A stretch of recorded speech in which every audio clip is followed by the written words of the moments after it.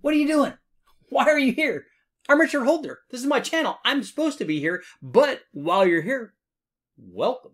And while you're here, please make sure like, share, subscribe, ring the bell, go to all those corners, do all that stuff so you get notified when I do all this cool testing. Because today we have some cool testing. We're talking about LS cylinder heads. We're talking about a lot of different heads.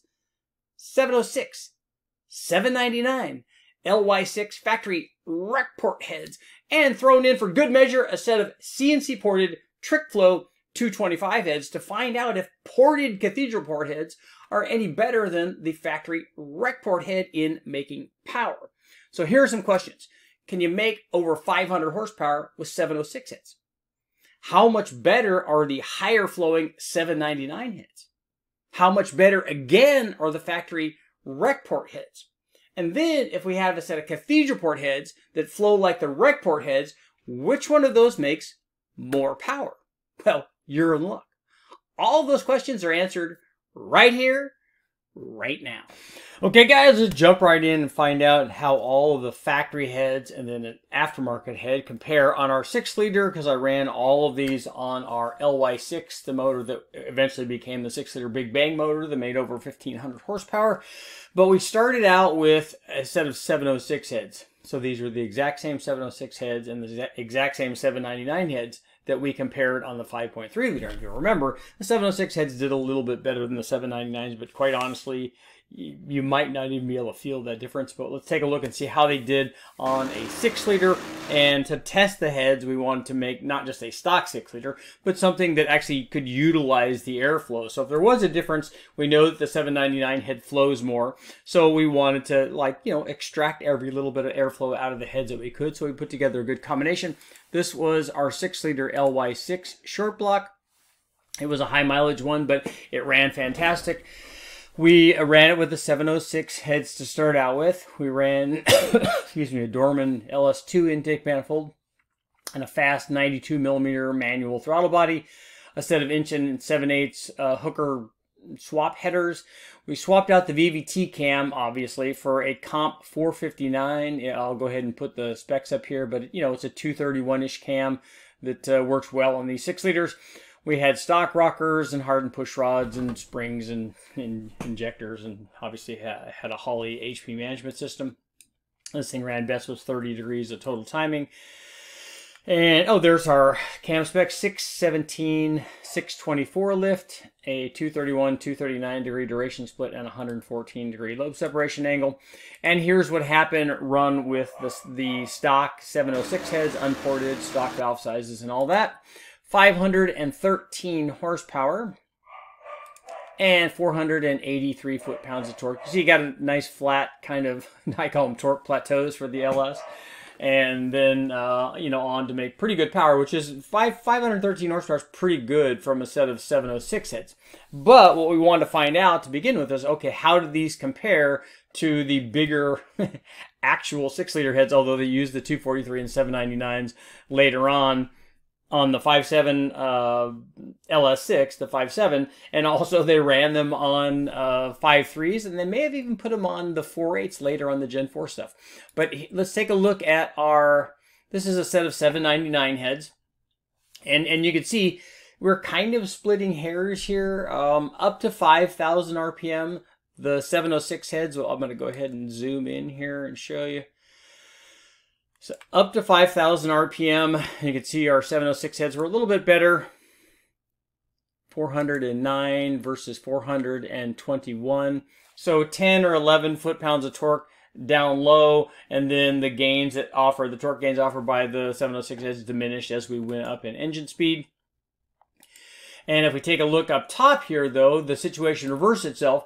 This is where the 799 heads started making more power and they made a peak of 522 horsepower compared to the 513 or so for the uh, the 706 heads. So they did make more power from starting at 5900 on up. So a, a, little bit of a section at the very top, they did make more peak power, maybe owing to their their improvement in head flow. So now let's take a look so you guys can see here. Look, again, you could argue which one of these is more beneficial. Do I want the more peak power so that you can brag about that, or do I want the more uh, average torque down there in the in the usable part of the range? You guys have to decide. But now let's take a look and see what happened when we added a set of the LY6 rec port, you know, LS LS3 style heads. Okay guys, now that we compared the 706 to the 799 heads, let's take a look and see what we, what happened when we ran a set of factory cathedral port heads. And there's something important to note here is that all these heads were the way that they came from the factory. I know a lot of guys want to jump on this bandwagon. Oh, you need to equalize the compression, all of them. No, we don't.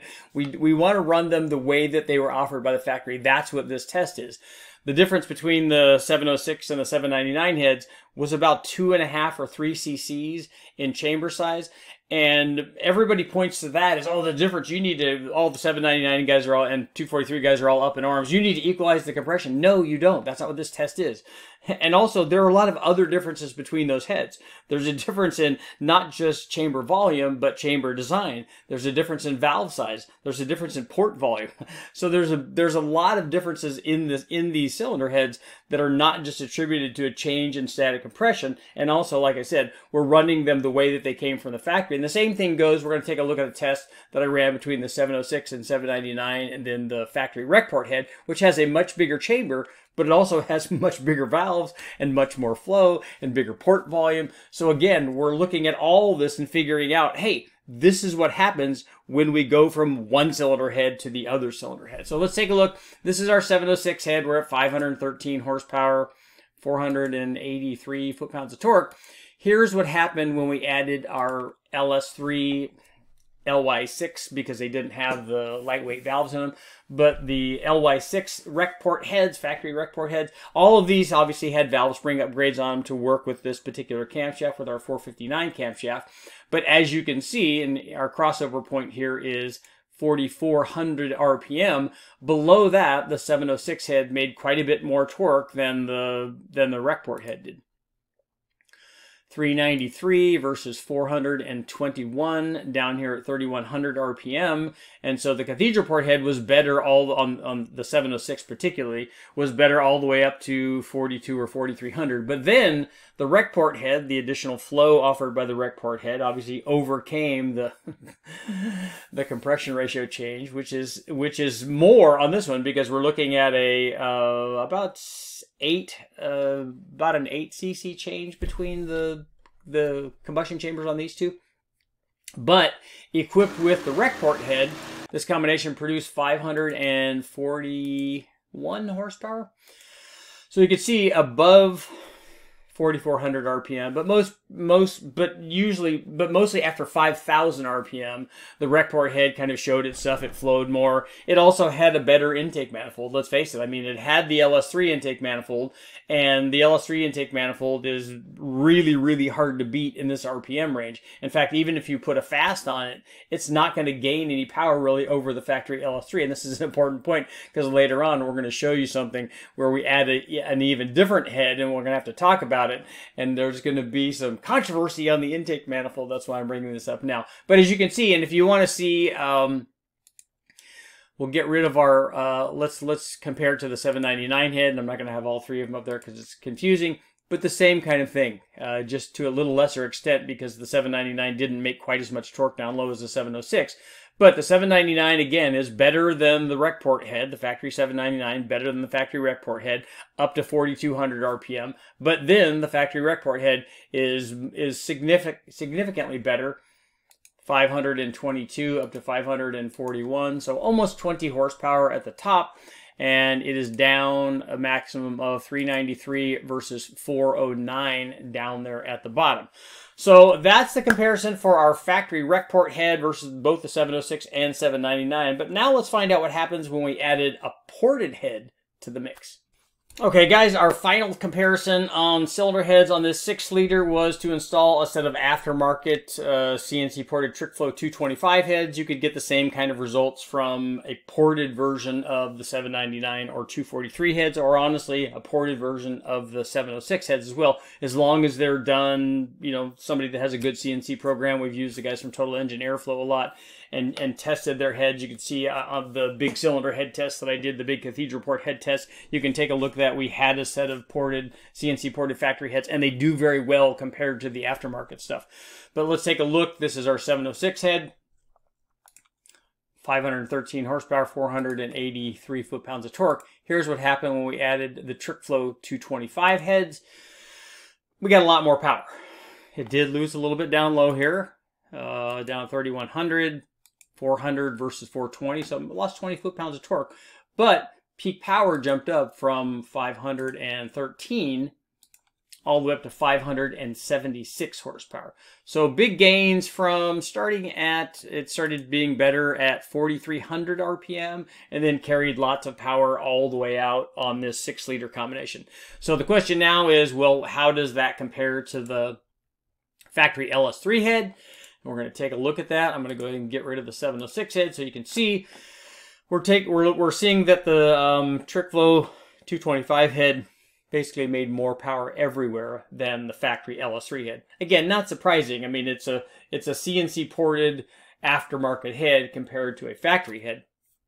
Before this, we don't run only factory heads, but I want to show what happened when you run a ported head. And the interesting thing is all the RecPort guys now are going to go, yeah, but why didn't you run a ported RecPort head? well, let's take a look at this. One, the, the reason for that, or the answer to that, is I didn't have one. I, I could have tested it, and I would have had I had a set of you know trick flows or airflow research heads or something like that. I could have put them on there to find out how well they did. But the thing is, this combination didn't really need more flow. I mean, the the factory rec port head and the trick flow head the the peak flow difference is not very dramatic between those two. That's not why one made more power than the other. The reason that a TrickFlow uh, 225 Cathedral Port CNC Cathedral Port head made more power than the factory RecPort is a lot of things. One, uh, the fact that it has much more average flow. It has a lot more midlift flow than the factory RecPort has. It has it's it, and not only that, it has a better coefficient of discharge. It has as much or more flow, and it's doing it through a smaller valve package. It has a smaller combustion chamber. It has smaller port volume.